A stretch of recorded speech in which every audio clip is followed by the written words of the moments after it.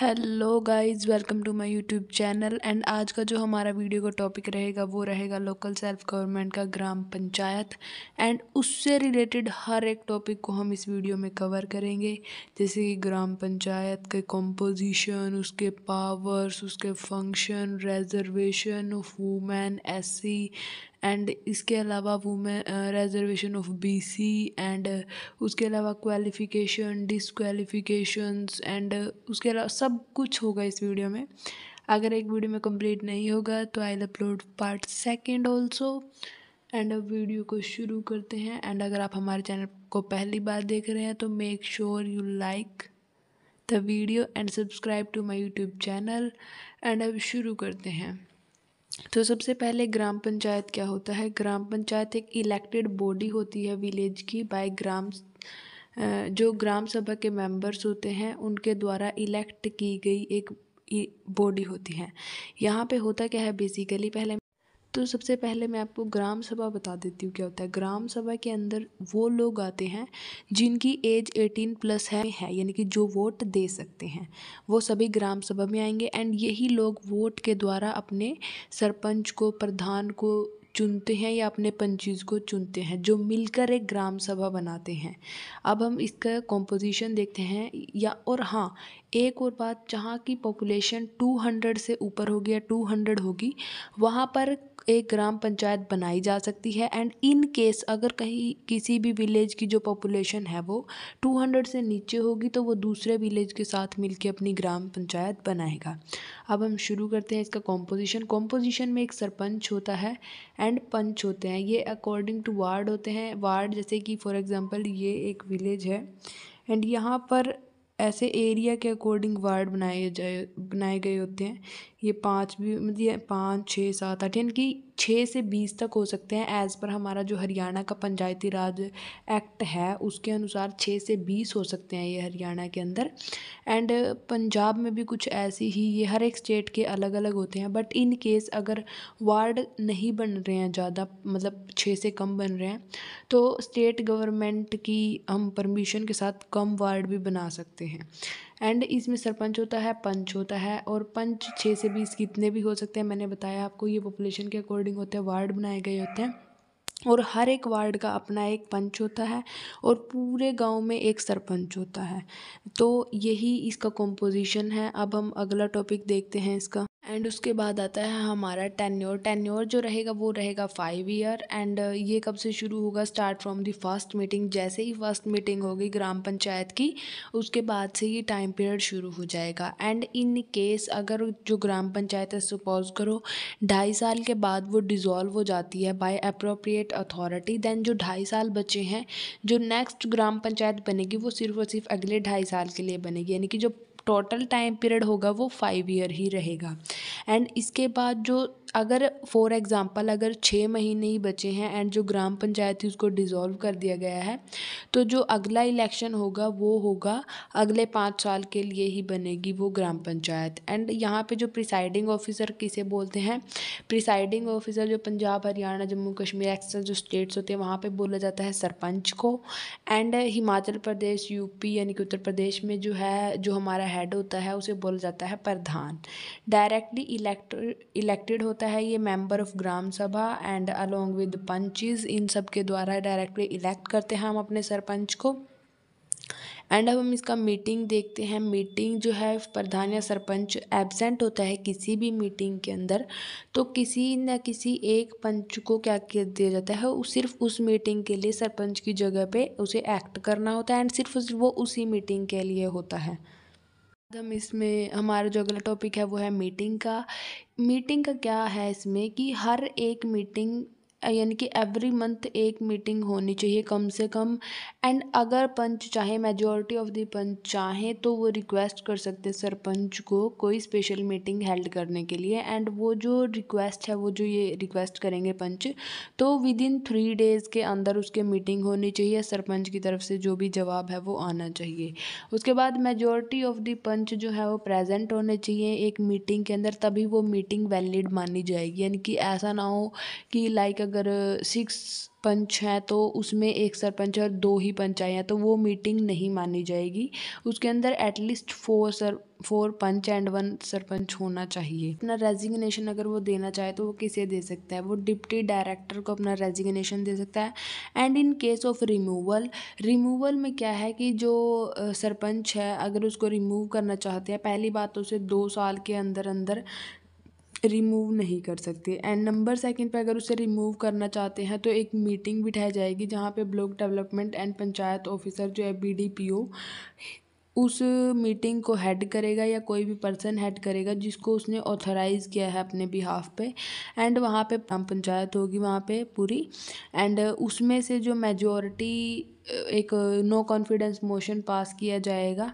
And उसके बाद ही उसको रिमूव किया जा सकता है सरपंच को उसकी पोस्ट से। एंड उसके बाद फ़ंक्शंस ऑफ़ सरपंच देखेंगे हम यहाँ पे। फ़ंक्शंस ऑफ़ सरपंच में है, नंबर वन पे है, convey the meeting and preside it, यानी कि वो मीटिंग कराएगा। एंड उसको हेड भी करेगा।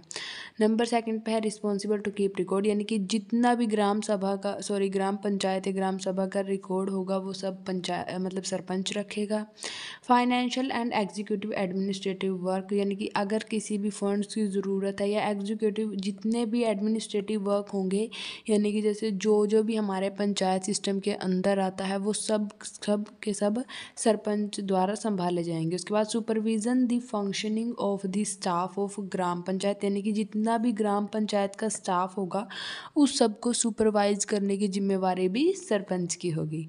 नंबर फिफ्थ पे है all other functions which he is called upon to perform by special resolution और बाय स्टेट गवर्नमेंट यानी कि इसके अलावा जो भी स्पेशल रेजोल्यूशन से उसको बोला जाएगा सरपंच को या स्टेट गवर्नमेंट उसको बोलेगी कि आपको ये ये फ़ंक्शंस परफॉर्म करने हैं, वो भी फ़ंक्शंस जो है वो सरपंच के द्वारा परफॉर्म किए जाएँगे। इसके बाद जो हमारा टॉपिक है वो है qualification and disqualification of member of Panchayati Raj सबसे पहले हम देखते हैं qualification the person should be the citizen of India वो सिटीज़न होना चाहिए इंडिया का। एंड उसका नाम जो है वो रजिस्टर्ड होना चाहिए वोटर लिस्ट के अंदर। उस विलेज की। वो हाँ एक वो स्पेसिफिक उसी विलेज का होना चाहिए। ऐसा नहीं होना चाहिए कि आप ए विलेज से इलेक्शन लड़ रहे हैं एंड आप रेजिडेंस हो बी विलेज के। तो जहाँ से आप इलेक्शन लड़ रहे हो, वहीं के आप रेजिडेंस भी होने चाहिए। एंड ही और she should be at least twenty one years of age and उन्होंने अपने इक्कीस साल की जो एज है वो कंप्लीट कर लेनी चाहिए। एंड ही और she not be holding any government post वो किसी भी गवर्नमेंट पोस्ट पे ना हो। एंड अगला पॉइंट है ही और शी नॉट बी कल्प्रेट यानी कि तो वो कल्प्रेट नहीं होना चाहिए। दूसरा, किसी भी कोर्ट कॉम्पिटेंट कोर्ट ने उसे डी बार ना किया हो कि वो किसी भी इलेक्शन में पार्ट ना ले सके। अगर कोई भी कल्प्रेट होगा, जिसे कोई भी सज़ा हुई होगी तो वो इलेक्शन में पार्ट नहीं ले सकता। इसके बाद है नंबर सिक्स पे ही और she should be not a member of either house of the parliament and the state legislature. ना तो पार्लियामेंट, यानी कि कोई और गवर्नमेंट पोस्ट होनी नहीं चाहिए उसके पास। उसके बाद हम देखते हैं इसकी डिसक्वालिफिकेशंस अगर हम डिसक्वालिफिकेशंस की बात करें तो इसके अंदर मैं अलग से एक स्लाइड डाल दूँगी उसकी बट डिसक्वालिफिकेशन में होता क्या? डिसक्वालिफिकेशन में ये उल्टा होता है। लाइक अगर उसने वो अनसाउंड माइंड हो एंड उसने अपनी एज कंप्लीट नहीं की हो, वो सिटीज़न ना हो इंडिया का, या अगर इन केस अगर जो इलेक्शन है वो रेजर्वेशन के अंदर है और वो रेजर्वेशन कैटेगरी से बिलोंग नहीं करता हो एंड उसका नाम ही ना हो इलेक्ट्रोल लिस्ट में या वोटर की लिस्ट में उसका नाम ना हो और कोई गवर्नमेंट पोस्ट पे हो वो एंड वहाँ से वो रिज़ाइन भी ना करे। तो ये सब इसकी डिसक्वालिफिकेशन होंगे। मैं एक अलग से एक स्लाइड डाल दूँगी बीच में जिससे आप उसको नोट कर सकते हो। एंड अब नेक्स्ट टॉपिक देखते हैं। हमारा नेक्स्ट टॉपिक होगा हमारा इसका रेजर्वेशन तो अब हम शुरू करते हैं reservation of seats for women यानी कि आपको पता है जो हरियाणा पंचायती राज एक्ट है, उसके अंदर तीन रेजर्वेशंस हैं वुमेंस की एससी की एंड बीसी की, यानी कि बैकवर्ड क्लास की और शेड्यूल्ड कास्ट की। अब हम देखते हैं वुमेन को जो है at least one third of the seat reserve for the S C women यानी कि वन थर्ड जो सीट्स हैं वो रिज़र्व कर दी गई हैं शेड्यूल्ड कास्ट की वुमेन के लिए and one third of total seat reserve for the scheduled caste women panch and panch की पोस्ट के लिए भी वन थर्ड जो सीट्स हैं वो सिर्फ़ और सिर्फ़ शेड्यूल्ड कास्ट की वुमेंस के लिए जो है वो यहाँ पे रिज़र्व कर दी गई हैं एंड टोटल नंबर जो है वो है फिफ्टी परसेंट जो है फिफ्टी परसेंट के अंदर जो है वो ये वन थर्ड हिस्सा भी आएगा जो हमने शेड्यूल्ड कास्ट के लिए रखा है। एंड सभी वुमेंस के लिए आ जाएगा शेड्यूल्ड शेड्यूल्ड कास्ट भी जनरल भी एंड बी सी भी इसके अंदर सब आएँगे एंड वो अलग अलग आता है इन रोटेशन आता है, वो कि अब की बार जो है इलेक्शन वो जनरल की वूमेन से होंगे या शेड्यूल्ड कास्ट से होंगे या बीसी से होंगे। जो बीसी में आएँगे तो उससे नीचे शेड्यूल्ड कास्ट एंड बीसी दोनों जा सकते हैं एंड अगर जनरल में आएँगे तो कोई भी वूमेन पार्टिसिपेट कर सकती है। उसके बाद आगे चलते हैं हम reservation of for B C and S C reservation of the S C and the मतलब कि बेसिकली मैं आपको इसको सिंपल समझा देती हूँ, फंडा गैस का जो बी सी और एस सी के इलेक्शन हैं, वो डिसाइड किए जाएँगे जैस, जितनी उस डिस्ट्रिक्ट की पॉपुलेशन होगी एंड जिस भी विलेज में वहाँ की ज़्यादा पॉपुलेशन होगी, उसके अकॉर्डिंग रोटेशन में आएँगी सीट्स और ऐसा नहीं होगा कि कहीं पे एससी की जो सीट्स हैं वो ज़्यादा है तो या कम है तो वहीं पे एससी की ही आएगी हमेशा।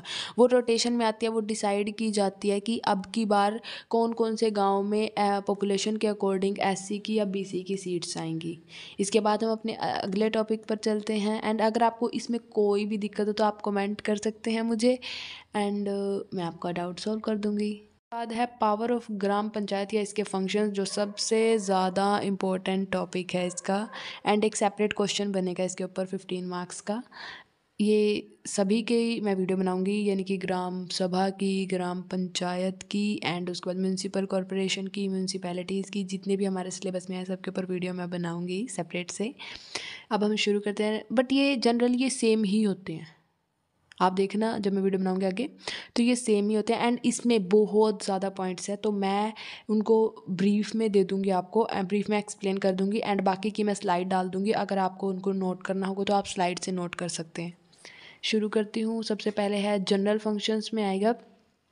Annual report for development annual report बनाएँगे वो डेवलपमेंट के लिए एनुअल बजट की रिपोर्ट भी यही बनाएँगे एंड रिलीफ मेजर अगर कोई भी नेचुरल क्लैमिटीज़ आ जाती है तो उसके लिए रिलीफ मेजर जैसे कि करोना अभी अभी गया है तो उसके लिए पंचायत जो है वो अपने उसमें जो भी बजट लगता है या जो भी करना होता है वो सब कुछ ग्राम पंचायत की जिम्मेवारी होती है।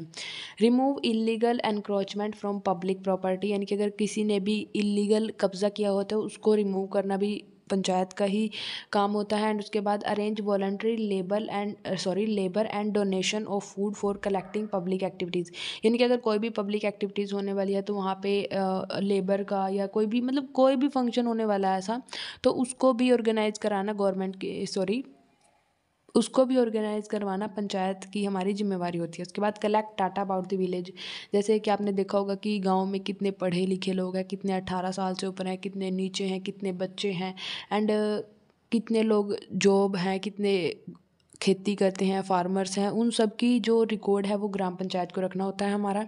एंड उसके बाद इम्प्लीमेंट रूरल डेवलपमेंट स्कीम ये भी पंचायत ही इम्प्लीमेंट करती है जो रूरल डेवलपमेंट स्कीम्स होती है। उसके बाद प्रमोट फीलिंग यानी कि यूनिटी और गुडविल की फीलिंग को प्रमोट करना लोगों के बीच में ताकि भाईचारा बना रहे। ये भी पंचायत की जिम्मेवारी यानी कि ऐसे फ़ंक्शंस कराए जाए। नंबर सेकंड पे है construction repair and to look after the public property इसके अंदर कंस्ट्रक्शन की बात है रिपेयरिंग कराने जितनी भी पब्लिक प्रॉपर्टी जैसे कि cleanliness of public places public public places पे क्लीनलीनेस का ध्यान रखना। उसके बाद है well drainage water pump storage tanks ponds वगैरह जो एक्सेट्रा इनकी क्लीनलीनेस इनकी कंस्ट्रक्शन एंड फिर से रिपेयर कराना। उसके बाद कंस्ट्रक्ट करना रिपेयर करना बरियल ग्राउंड्स को। उसके बाद लाइटनिंग करना प्रॉपरली गाँव में एंड उसके उसके बाद है built and look after the इंस यानी कि सराय वगैरह बनाना यानी कि अगर लोग बाहर से आए तो वो वहाँ पे रह सके। उसके बाद पोन्ट्स बनाना एनिमल्स के लिए और शेड बनाना कार्ट साइकिल या रिक्शा खड़े करने के लिए। उसके बाद बिल्ड करना पब्लिक पार्क स्टेडियम और रिक्रिएशन पार्क्स ऑर्गेनाइज करना स्पोर्ट्स कॉम्पिटिशन्स को लाइब्रेरीज़ बनाना रीडिंग रूम्स बनाना। उसके बाद जो है वो आ, मतलब कि to allot sites for the preparation of manure and to look after them यानी कि जहाँ पे मैन्योर्स वगैरह बनाए जा सके। सके उनको, यानी कि जो भी गाँव में चाहिए ना एक तरीके से, उस हर एक चीज़ का इंतज़ाम करना वो हमारी ग्राम पंचायत की जिम्मेवारी होती है। उसके बाद आगे देखते हैं हम कंस्ट्रक्ट एंड मेंटेन ब्रिजेस पुल है अगर वहाँ पे कोई तो उसे बनाना और उसे मेंटेन भी रखना। नए रोड्स बनाना, फुटपाथ्स बनाना एंड पुराने रोड्स की देखभाल करना पॉल्यूशन को कंट्रोल रखना public toilets banana to promote family welfare and population control यानी कि लोगों को इसके बारे में सूचना देना कि आपको ऐसे ऐसे फैमिली प्लान करनी है या पॉपुलेशन को कंट्रोल करने से रिलेटेड प्रोग्राम्स इसके बाद मैं आपको ब्रीफ में बता देती हूँ, अलग से स्लाइड इनकी मैं डाल दूँगी। नंबर थर्ड पे है development of agriculture animal husbandry यानी कि एग्रीकल्चर से रिलेटेड और पशुओं से रिलेटेड फिर उसके बाद डायरी प्रोडक्ट फिशरी अगर ऐसा कुछ भी है गाँव में, या इसको बनाना अगर लोग चाहते हैं, अभी ये हो एंड इससे रिलेटेड जितने भी काम हैं, वो सब कुछ करना भी हमारी पंचायत की जिम्मेवारी है। उसके बाद डेवलपमेंट देखना फॉरेस्ट्री की। जैसे गाँव में होता है अपना एक अलग सी जगह बहुत सारे गाँव में होती है। उसकी देखभाल करना and development of villages and cottage industry अगर गाँव में कोई छोटी मोटी इंडस्ट्री है तो उसको चलाना एंड उसकी प्रोग्रेस देखना उसकी डेवलपमेंट करने में हेल्प करना।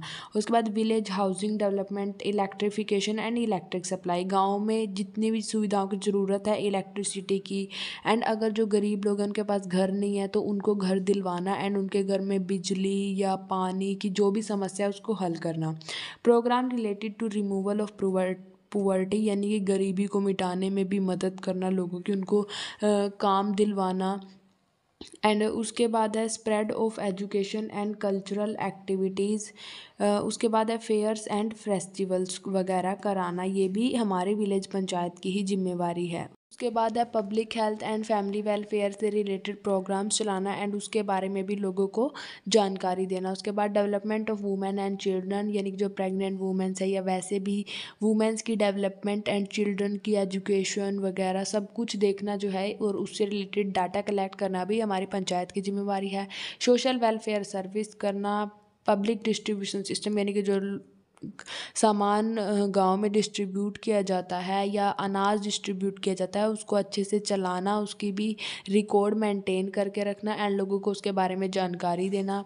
रिमूवल ऑफ़ इलीगल ऑक्यूपेशन कोई भी इलीगल ऑक्यूपेशन जो गाँव में चल रहा है, उसको बंद कराना and power to issue general order अगर कोई भी जनरल ऑर्डर जो है, उसकी ज़रूरत है गाँव में इशू करने की लाइक कोई भट्ठा खुला हुआ है या कोई भी ठेका खुला हुआ है शराब का, जहाँ से शराब मिलती है, और और गाँव वाले चाहते हैं कि वो इतने एरिया में ना हो, गाँव से थोड़ा दूर हो तो अगर मतलब गवर्नमेंट की परमिशन के साथ गवर्नमेंट को वो रिक्वेस्ट करके उसको वहाँ से हटवा सकते हैं। उसके बाद है report about the misbehaviour of the subordinate staff यानी कि अगर कोई भी ऐसा स्टाफ है जो गाँव में लगा हुआ है एंड उसका मिसबिहेवियर हुआ है, किसी के साथ भी या वो अपना काम अच्छे से नहीं कर रहा है तो उसकी रिपोर्ट देना ग्राम पंचायत को एंड आगे ग्राम पंचायत उसकी रिपोर्ट करती है एंड उसको हटा दिया जाता है, उसको रिप्लेस कर दिया जाता है।